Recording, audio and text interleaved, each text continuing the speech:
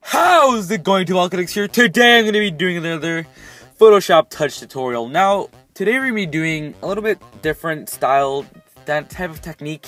Um, we're going to be using a different app, but it's still going to be Photoshop Touch tutorial.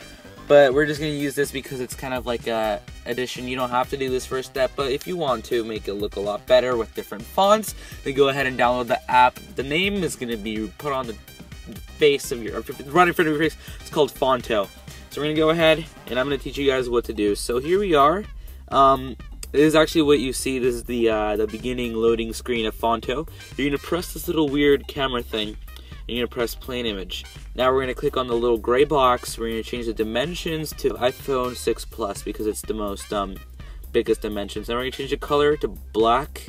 And we're to press apply, the little weird thing there, and uh, usage. I mean, use. what am I saying? And uh, so here we are, and we're gonna press in the middle of the screen, press add text, and then here you're pretty much gonna make the line to center, and you're gonna write whatever you want. This is usually where you're gonna pull like survival games. If you're making a logo, just make the logo for that. But here we are, we're just gonna write like hello or some some dumb little message like that. Press done, and make sure you make the move and uh, make it towards the center.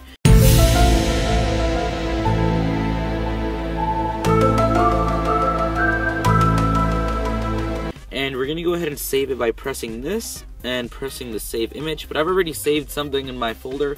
So we're gonna go ahead and I'll see you guys in the Photoshop Touch thing so here we are in Photoshop Touch. For the sake of this video to make it a lot better make this um, 1920 by 1080p um, pretty much what that is it's the uh, 1080p um, version for YouTube. So in other words it's kind of like the most HD you can get with YouTube. So you're gonna press OK and uh, you'll be prompted with this super HD lagginess. You're to press the little um, bottom right plus thing and press photo layer. Now I've already got something saved in my albums.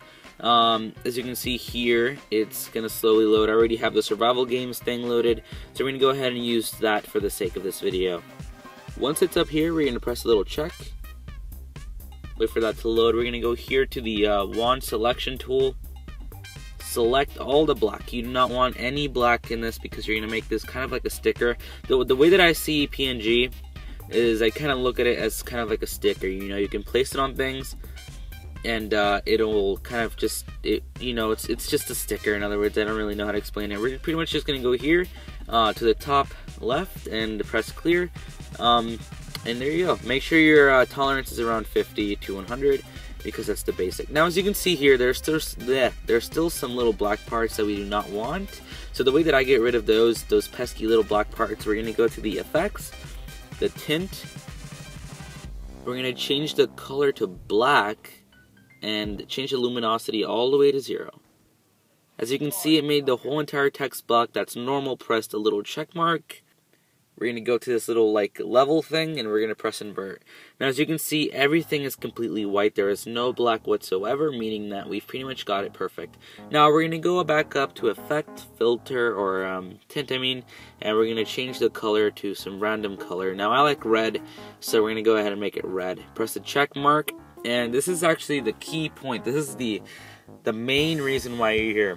Uh, the effects. Uh, we're going to go back to effects and uh, go to bevel and as you can see here, we're going to change the blur to exactly 10.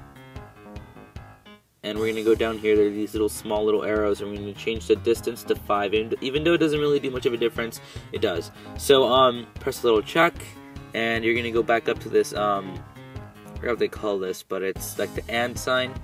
Um, and we're going to go to fill and stroke, and change the fill thing to a stroke, change the color to black, and the width to 1. As you can see, we pretty much kind of created our own sexy little survival games logo.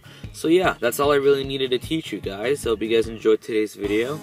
Um, use this to your advantage, you know, always make sure you use this. It's kind of like a technique to make your text look a little bit sexier, a little bit better. I'm pretty much just adding these small little effects so you guys can um, kind of see how I worked, but uh, you know, it's it's it's it's, it's a sexy little um, text thing. As you can see, it looks kind of 3D bubbly type of thing. But yeah, so yeah, hope you guys enjoyed today's video. If you guys did, hit that like button down below, and I'll see you guys in the next one. Later, nerds!